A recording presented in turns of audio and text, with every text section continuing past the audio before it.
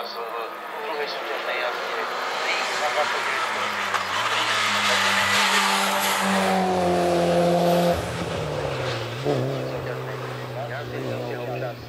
Takisto v cieli Trich Pluhaš na vozidle Nissan Sunny dosiahol čas prvej súťažnej jazdy 3 minúty 35,733 tisíci.